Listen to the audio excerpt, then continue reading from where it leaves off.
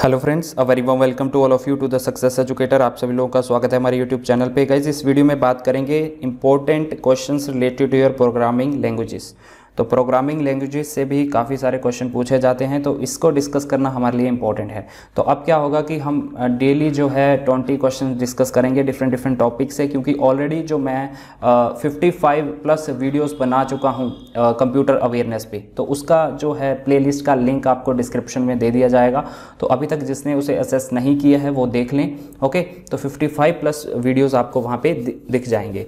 तो अभी से जो है हम क्वेश्चंस की प्रैक्टिस करते चलेंगे, जिसका आपका आपका जो है रिवीजन भी साथ साथ में होते चलेगा। ठीक है? तो चलिए स्टार्ट करते हैं।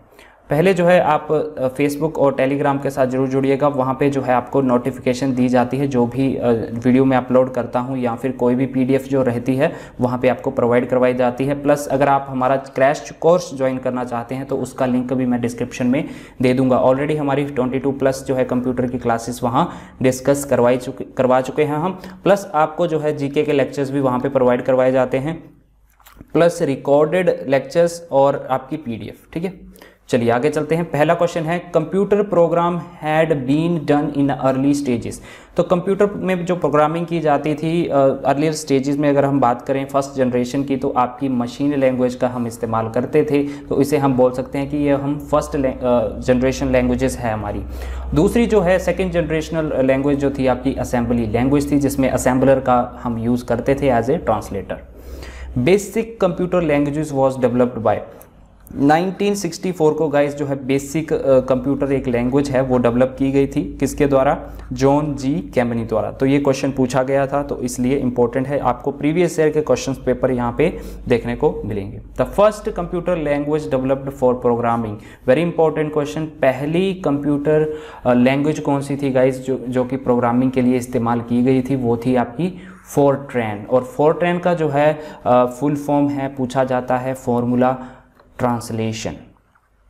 फॉर्मूला ट्रांसलेशन इसका फुल फॉर्म है, ओके? और सी की अगर हम बात करें किसने, इससे ये क्वेश्चन पूछा जाता है कि किसने डेवलप किया था तो डेनिस रिची जो है इनका नाम था। ठीक है? डेनिस रिची के द्वारा। और सी प्लस प्लस की अगर हम बात करें तो किसने जो था, इसे इन्वेंट किया था? So it was invented by Bjarne Bjarne Stroustrup ठीक है?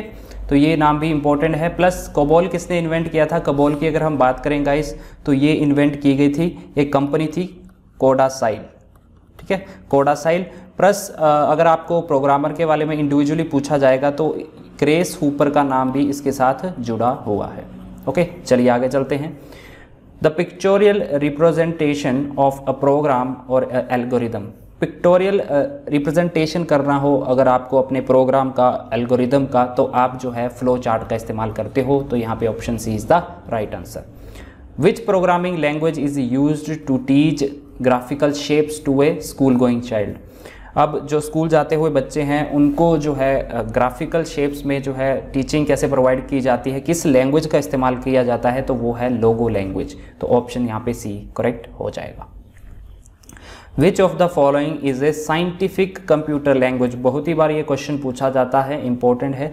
साइंटिफिक कंप्यूटर लैंग्वेज जो है गाइज़ डेवलप की गई थी किसकी?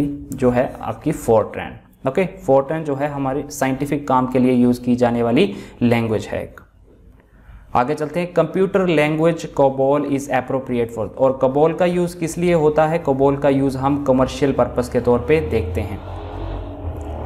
High level language computer language like English languages तो यहाँ पे आपको दो ऑप्शन दिए गए हैं, देखो।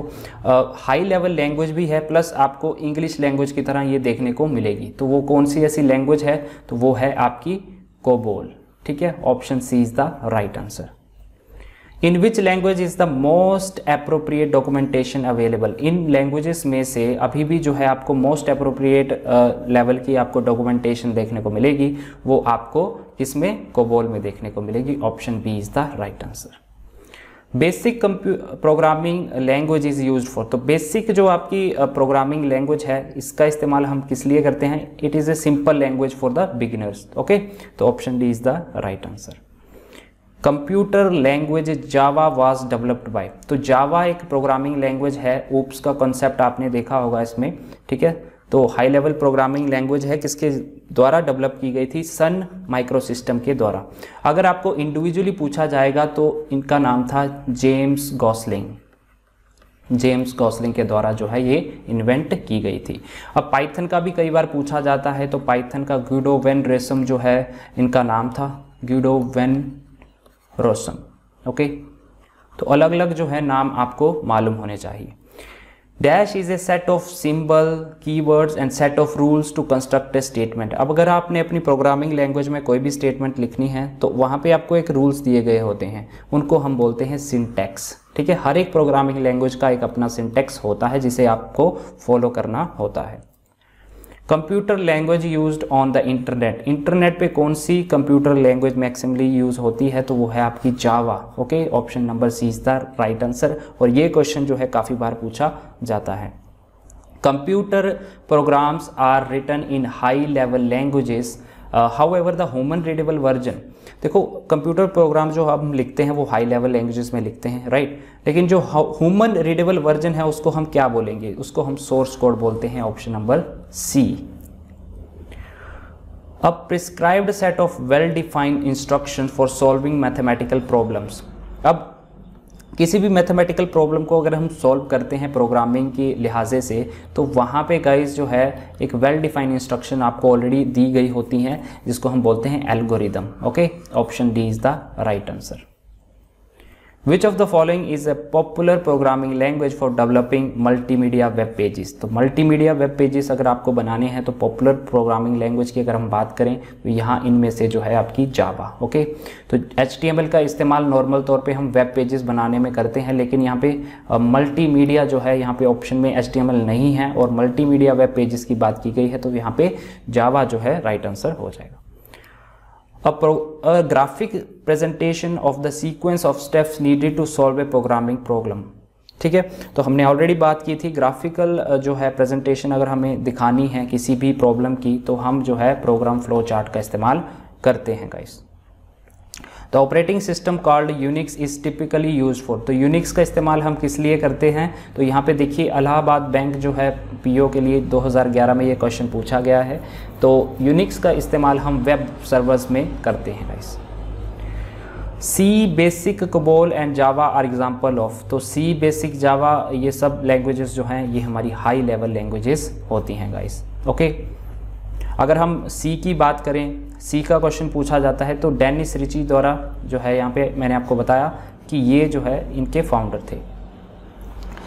A mistake in an algorithm that causes incorrect results तो अगर आपके एल्गोरिदम में जो है इनकरेक्ट रिज़ल्ट आपको शो करके दे रहा है आपका एल्गोरिदम तो उसका मतलब है तो यहाँ पे आपका लॉजिकल एरर है, ठीक है? एल्गोरिदम में अगर आपकी कोई मिस्टेक है तो इसका मतलब है वो एक लॉजिकल एरर है गाइस तो guys this was the video अब हम जो है डेली 20 प्लस क्वेश्चन डिस्कस करेंगे ओके तो नए स्टूडेंट जो है चैनल को सब्सक्राइब कर लेना, इसी तरह से आपको वीडियोज़ मिलते रहेंगे और प्लेलिस्ट जो है उसका लिंक मैंने डिस्क्रिप्शन में ऑलरेडी दिया गया है, ठीक है? वीडियो अच्छा लगे लाइक ज़रूर करें सब्सक्राइब कर लेना नए स्टूडेंट मिलते हैं नेक्स्ट लेक्चर में, तब तक के लिए जय हिंद।